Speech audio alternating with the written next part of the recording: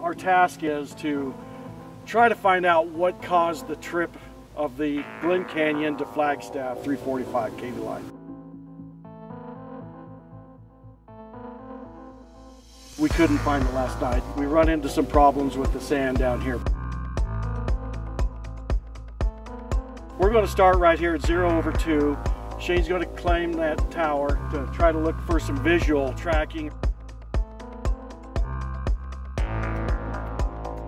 Jason, I'd like for you to take the drone down into the remote area. There's some sand that we can't get our, any equipment or vehicles down into. Take that and do the patrol on the on the next two towers at least, but come back and let, let us know what happens uh, with your with your video. Shane, make sure that you check your equipment, make sure your PPE is good to go, make sure, you know, do a good thorough inspection before you start climbing the tower. And Jason, uh, uh, be careful, don't drive down into the sand or anything like that. So uh, that drone should, you should be able to stay on the hard pack and, and be able to do those three towers down there.